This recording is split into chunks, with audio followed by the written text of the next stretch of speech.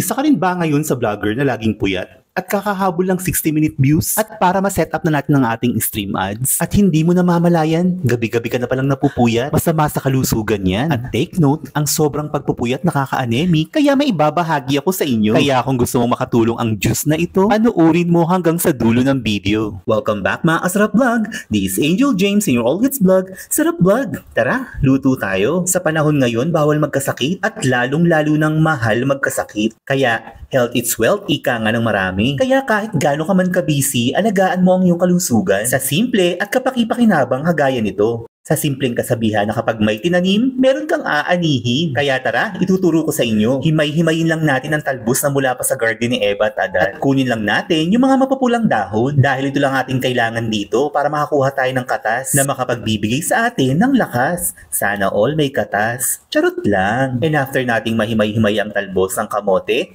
Hugasan lang natin doon ng maigi bago natin siya pakuluan at buksan na natin ang kapangyarihan ng apoy at isalang na natin ang ating organic pot at lagyan na natin ng tubig na mula pa sa bundok banahaw. At syempre, bago natin pakuluan ang ating talbos ng kamote, kailangan mainit na muna at kumukulo ito. At kapag kumukulo na, pwede natin isalang ang mga dahon ng talbos ng kamote. Kailangan kumukulo muna ang tubig bago natin ilagay ang mga dahon ng talbos ng kamote.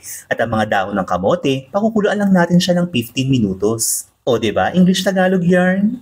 Lang. At kapag okay na, mga kasarap vlog, i-check lang natin ang sabaw kung nakuha na ba natin ang katas ng mga dahon ng talbos ng kamote. At kapag ito ay purple na, pwede na to mga asarap vlog.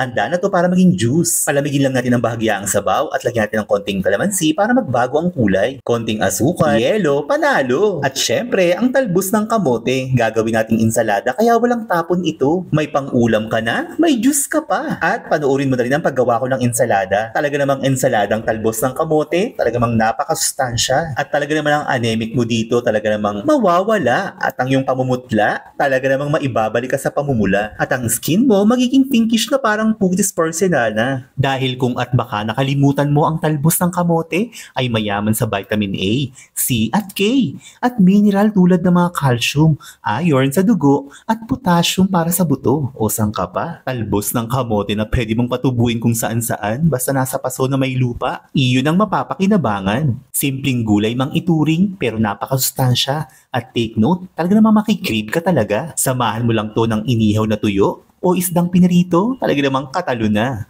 At panalong panalo. Kaya sa ensalada version ko, talaga namang ito, magugustuhan mo. At take note, super high fiber pa ito. Kaya sa aking kamote juice, itry mo. At talaga lamang sa simpleng dahon ng talbos ng kamote, talaga namang magiging pang fine dine ito. Kung sa restaurant mo to kakainin, medyo pricey na to, mga kasarap vlog. Kaya anong ipang hinihintay nyo? Eto na ang sagot sa mga puyat nyo. Kaya sa mga vlogger na laging nagla-live dyan, malaking tulong ito para sa inyo. Para kahit puyat, magiging healthy pa rin tayo at malakas. So paano? Follow, like, and share kung nagustuhan mo ang video ko. This is Angel James in your All It's Vlog, Sarap Vlog, na nag sa inyo kasabihan sa inyo ang sarap sa akin ang vlog. Kaya tayong lahat, kasarap vlog. Thanks for watching. Bye!